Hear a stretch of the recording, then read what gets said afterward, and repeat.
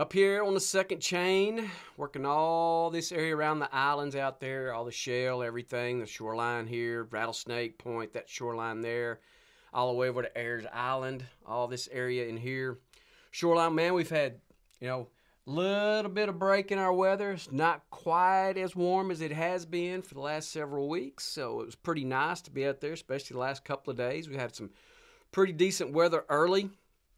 Water temps were just down just a hair, but definitely a noticeable difference in that. You know, definitely when you're starting the day off from 89 degrees to 85 degrees, you don't think four degrees is a big deal, but it, it, it really is.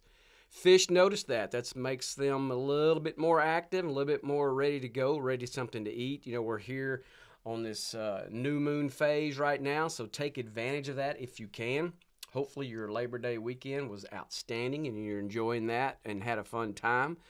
But all this area here on the Ayers Reef, this can all this up here in Ayers. You know, we spend a lot of time up here in Ayers on the reefs, on the edges, around the islands, working the shorelines uh, all the back up here on the point, Ayers Point, this particular shoreline, all the way down into here. Not seeing quite as much grass as we'd like to see, so hopefully that would, uh, with the you know with cedar being opened up here now for going on almost three years, uh, we would see that grass come back. Once upon a time, the shoreline up here on Ayers was was spectacular. We just have not gotten back to that point yet, but hopefully that will continue to uh, flourish and get better and better as the days and weeks and years go by. But that said, like I say, we're still fishing shell early. Like I say, we got a little small break in the weather in the morning hours. You know, we fished a little bit later in the mornings to just like pushed it out to about 11, 11.30.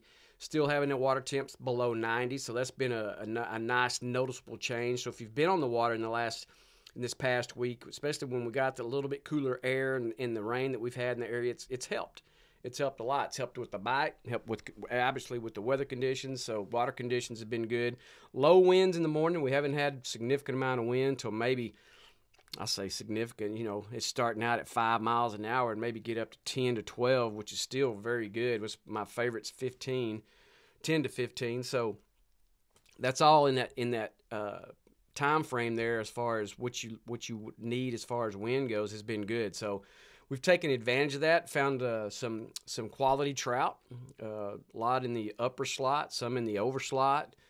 So it's been very good. Now there wasn't great great numbers of those, but the ones that we found, you know, it offsets that. So it's really good to have that. And then of course scattered redfish here and there. But you know the one thing that we're starting to notice with our redfish is they're starting to kind of school up, starting to see little pods here and there, starting to see groupings, a little bit different locations.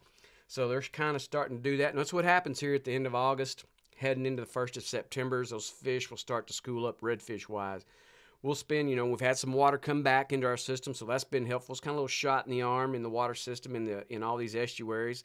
It's been helpful. So it, it opens up some of these back lakes more so than what we've had. And so with that, that's where you can start locating some of these fish. You know, you fish these shorelines, you'll see that. Some of these little thicker areas, it's got little coves in there. You may locate some fish that are hanging in there.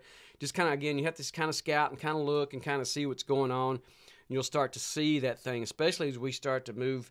Now that we're here at the first part of September, and we'll start to move forward. You know, we've got uh, uh, weather patterns that are starting to be a little bit more favorable for us, and we'll see if that continues to hold. But uh, if so, then you'll start to see these schools a little bit better and a little bit more wise uh, moving around. So, anyhow, uh, you know, we were in our transition days as we started up this past week, and we've gotten into those. We've gotten into the the new new moon phase, and those that five days that lead up to it to the five days after, and that'll be the continuing trend of this upcoming week. Uh, like I say, if you can get out there to be a part of that, whether it be on this Labor Day weekend or even a couple of days after that, after the holiday, then that's so be it. Then good, good for you. Uh, but so, t- so take advantage. So we've been throwing, you know, our big baits. It doesn't really matter. Top water action's been pretty good. It hasn't been spectacular yet. That's coming. Uh, as we we slide into uh, September a little bit deeper and we get into October, the, the top water bite will be phenomenal, or it should be anyway. Uh, but uh, but we've had good action with that and caught some quality fish with our top water action. So if you're a top water junkie or like to throw it, keep a, keep one tied on on the boat and get ready to throw it at just different particular times. Um, primarily, we've been throwing the uh, you know the six inch, the five inch, you know, multiple different flavors of down south. You know, the big smooth, the supermodel, the original, threw even a little burner shad when our bite kind of died off in the morning time after we got past the major or the minor, then we'd put that burner shad on there. Or the little john and see if we couldn't create that bite to last just a little bit longer. And it and it did, and there was at times where it held for us and did pretty good. It wasn't as consistent as what I'd like to have seen, but we got a decent amount of production out of it. But anyhow, uh, you know, the knock and tail, the uh, double D, again, of course, the top water bait, then all four sizes in the down south, all were good. The uh, provoker in the in the uh, MirrOlure, so all the bigger baits uh, were very productive for us. Even the original size stuff, four inch stuff, was good. So, like I say, when you get close into that new moon phase, you have a lot of options that you can do. So that's why I always suggest when you get into the new moon phase, have different sizes, profile, colors, and everything. Water clarity's been very good for us. We've Been that nice trout green water in certain areas. Some places, little stained, but it's been very good no matter what. Still using the 16th ounce jig head, working those areas, working the uh, shallower grass flats and, and hard packed sand areas off some shale has been productive for us.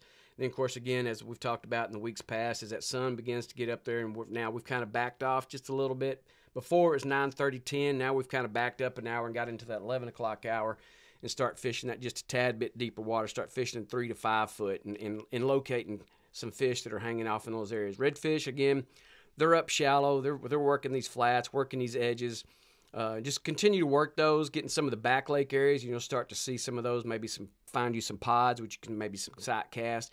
And that's really where you'll have fun with the top water action is back in those types of areas. So again, majors and minors have been a major thing for us. We've got to get influx of water that's been good for us.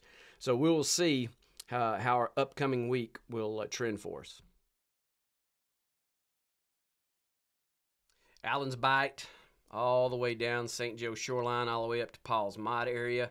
All these different little areas. You got little nooks, little crannies, little mouths that dump back into the back lake areas. You can dump back into these things. We come around to this area here. You know, you got the hard packed sand. You got a little scattered shell in these areas. This whole shoreline. We found and located fish up and down that shoreline, just different points and times of our morning, maybe early afternoon the things you'll notice, you know, again, with the influx of water that we've had, and it's been better, it's able to, and it opened up some of the back lake areas to get into some of those. So you can, you can either A, you can run your boat back up in there if you got the right kind of boat to do that. If not, just leave it out front and just kind of walk yourself back in there to it. This is where I've been throwing our topwater baits and having decent success with that. You know, getting blow ups, getting some swirls, getting some takes. Uh, it's not consistent, but it's still fun. You know, I'll take I'll take one blow up or one take and throw another 150, 200 times before I stop throwing it or something like that. Or for every blow up I get like that, that continues on with that process. So, you know, it's a patience game. Uh, you got to really stick to the top water game to really get the best out of it and benefit benefit from it. So, don't get impatient with it because it been it is fun. Uh, if you've thrown top waters or enjoyed throwing top waters, you know what I'm talking about. But you know, throwing the plastics working these edges, working all this shoreline here. We found trout up and down the shoreline. We found scattered redfish, an occasional flounder here or there, but that's really not what I'm targeting or what we're doing. Just trout and redfish are the main things that we're looking for and trying to find. We get back up in the Bight, up into here, work these shorelines here, and of course you got a nice big back lake that runs to it, and you got deeper edges that run back into here. So we've worked all these different areas at different points and times during this past week and, you know, spend a little bit of time back on it and see if we can't locate. And that's where we've kind of found some scattered redfish. Uh, and you will eventually, if you continue to fish this based on your water levels and stuff back in here, you'll start to see those redfish that start schooling up. That's why I always suggest for you this time of year moving forward, especially we get closer to October and early November, is keep that top water tied on, man, because it's a spectacular time when you can start getting them to eat like that. But that said, we, you know, primarily 16th ounce jig heads, throwing the the supermodel, throwing the uh, big smooth, throwing the original size in the down south, and the particular colors. Uh, you know, the white ice and bone diamond have been consistent for us for a while now. We've been throwing those. Uh, watermelon red's been good. Big Papa Twisted Tea's been good for us, and all the flavors. Uh, so any of those have been good. And the knock and tail, primarily the greenbacks and the, in the uh, heavy metal, have been very good for us working those.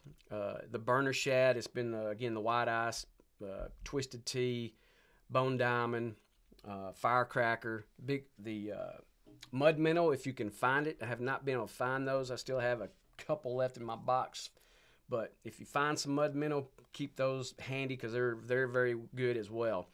The MirrOlure Little Johns, it's been the the uh, golden red glitter watermelon red has been very good for us in that size. And of course, been the same with the uh, provoker and primarily in the pearl for it. And of course, double D has been good in different uh, varieties of flavor there. Not one particular one has stood out, but that's when we kind of go that double D later in the morning, try to bang down on some of those deeper grass beds and work in that and see if we can't find a little bit better quality trout. And it's worked out sometimes, not every time but uh, it's something to have in your box just to have to be able to tie on there in a particular time of the day. Uh, primarily, the uh, the minors have been pretty good for us. You know, we've had these midday majors, primarily, and that's going to move. Of course, your minor's going to creep up here in the next couple of days. It'll be uh, early morning. I say early morning. It's going to be around you know seven ish to ten o'clock in that time frame. It'll be good, and that'll move every day. If you keep up with it, you know what I'm talking about. So just keep an eye on that and, and work that into your fishing day. Say, I think uh, I think our our quote unquote fall of the year is going to be pretty spectacular for us. We're going to have some opportunities to catch some quality fish moving uh, into the fall of the year. Newcomb, you know, we were here not too long ago. I think a couple of weeks ago, we spent some time out here. The report was on this, so we went back to it, and it it produced pretty well for us. You know, if you fish this shoreline wading it wise, you know the structure in the bottom that's here it's really good especially i mean when you got warmer weather we've had a super low wind so it sets up really good for us. You've got guts in there you've got shallow grass beds you've got deeper grass beds you've got some scattered shell in there you've got guts cuts. Everything you really want for this time of year is in that and so and then of course we've got plenty of bait working on the shoreline as well so everything sets up for us pretty well for us to have you know a pretty good morning for the most part uh, the couple, I think, a couple of different times that we fished it, it was not super super productive, but it was it was solid. You know, we'd catch fish along the way, a lot of smaller ones in that uh, you know 14, 16, 15, 13 and a half ish, a lot of those, and then of course you'd catch eight or ten of those, and then you pull out a quality fish, you know, an upper slot or or even in the restricted slot now, that 20 plus. So it gave you opportunities. Scattered redfish up on the shoreline. Again, that's, you know, we're throwing our top water up in there shallow like that and getting some opportunities, throwing our plastics out a little bit deeper, working the grass beds and edges. You know, come around the point, work all that on here in the old lap reef that's out there. And, you know, it's not pretty much not there anymore. It's just deeper in there just because of time and tides and Harvey and just other things that's gone on to it. It's pretty well disappeared, but it's a little bit deeper, so you can drift it if you want to but there are a couple of the, the reefs that are out there that with the tide being lower, you can get off on those and fish those edges. Then come on around into the bend area. Again, uh, back here, if you get one of those high wind days, you got a good south southeast breeze that's kicking this backside of Newcomb really sets up well for you because you can fish this whole shoreline all the way toward Holiday Beach. You got several little mouths that, that come out into the Newcomb Bend area that dump out into Copano. You can fish up in those little squishy, but you got scattered shell that's on those corners. It back up in there, so those redfish will get back in there. Even some quality fish, trout will get back in there as well. So you can just work up and down this, all the way up there to, uh, I say, Holiday Beach area, and just kind of take your time with that, and just see what's going on. Um, you know, there hadn't been a tremendous amount of fish that's on there, but you get opportunities from that. Now, once you kind of work this, and if you spent two or three hours or more, then come on around come up here to Shell Point area, and this little shoreline right here, it's not super long, and it comes up here into this little point, but you got another area that's hard packed. You got some scattered grass in there, and that's where we've we've uh, fortunate enough we've we've pulled off a couple of flounder off of that little shoreline. There's a lot of sand that's on it, so it kind of opens yourself up to give you that opportunity. On the particular day that we did fish that, we were fortunate enough to pull out one or two.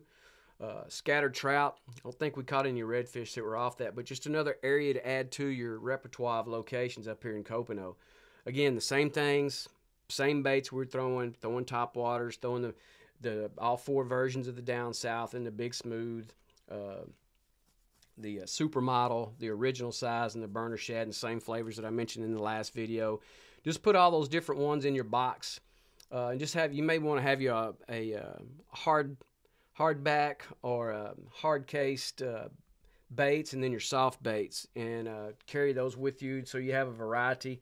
Like I say, we're still in the prime time of the new moon phase. That's going to be here for the next four or five days, so you can take advantage of that. And then we'll, as we get into the latter part of the week, uh, heading toward the weekend, that's when we'll get back into the transition days of that new moon going to a full moon. So uh, your profile sizes will change during that time frame. So you just this is the time of year where it gets really starts to get really good for people that throw artificials.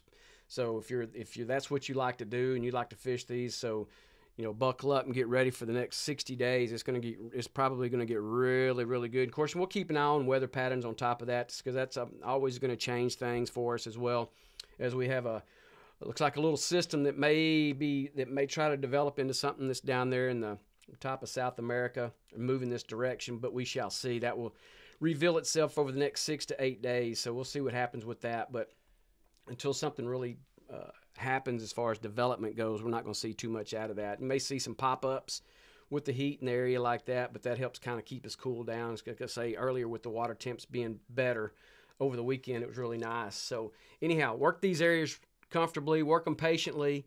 Uh, take your time with it. And of course, if you've got other areas that set up the same way, uh, then you can kind of trend that pattern over to those particular areas as well, and, and then uh, you can uh, continue on with your catching day.